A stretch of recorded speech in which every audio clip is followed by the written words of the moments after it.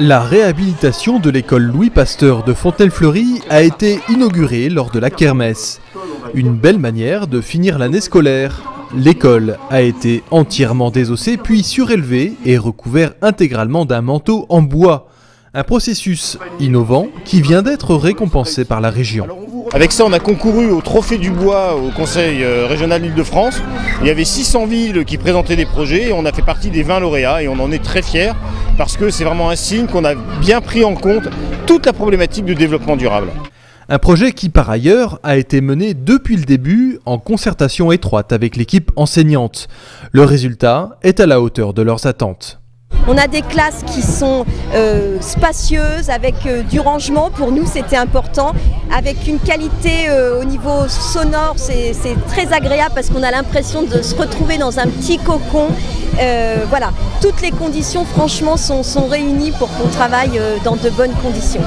En attendant la rentrée, les élèves et leurs familles ont pu profiter de la fête avec une invitée, la chanteuse Chimène Badi, venu interpréter quelques titres de son répertoire, rien que pour les Fontenaisiens.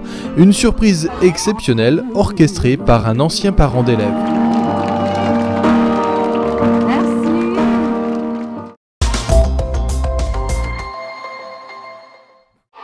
En route vers le collège. À Fontenay-le-Fleury, les élèves de CM2 étaient invités à la mairie pour célébrer leur passage chez les grands. On a la tradition à Fontenay pour tous les enfants du CM2 de les recevoir en mairie. Et puis leur dire que le CM2, c'est la fin d'un cycle. Un passage annuel rempli de fierté pour les institutrices et leurs élèves. C'est quelque chose que nous faisons tous les ans. Nous disons au revoir à nos CM2 pour leur nouvelle vie au collège. Cette année, 170 CM2 ont bénéficié d'une calculatrice pour leur passage en 6e. Une nouvelle tradition offerte par la mairie. Cette année, nous avons euh, voulu innover, changer, couper un petit peu les traditions en offrant une calculatrice qui permettra à tous les CM2 d'avoir, euh, d'être équipés pour le, pour le collège jusqu'en 3e. Une fierté pour ces futurs collégiens qui affichent leur plus beau sourire une fois la calculatrice en main. L'État aussi accompagne les enfants dans la scolarité en distribuant à tous les CM2 de France un exemplaire des Fables de La Fontaine, une incitation à la lecture.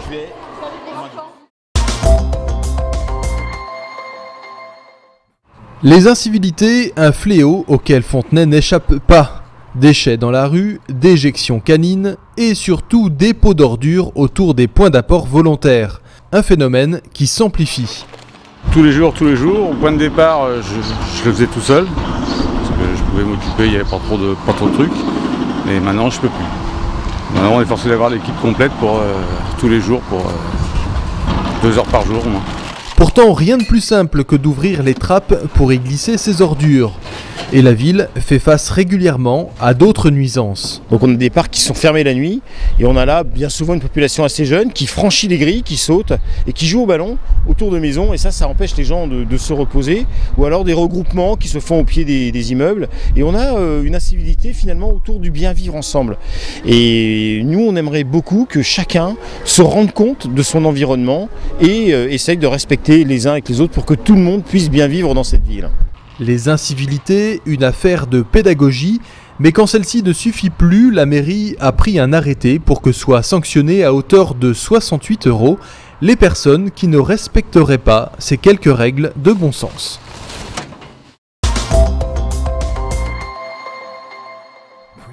Pêche au canard, tir à la carabine et autres manèges à sensation. La ville de Fontenay-le-Fleury a fêté la Saint-Jean avec la traditionnelle fête foraine. Tout y était, même les incontournables chichi et barbapapa. La ville a également organisé plusieurs activités au sein du plateau des cartes. Au programme, baby-foot humain, food truck et danse. Dans le gymnase, zumba, kickboxing et rythme latin ont fait bouger les fontenaisiens.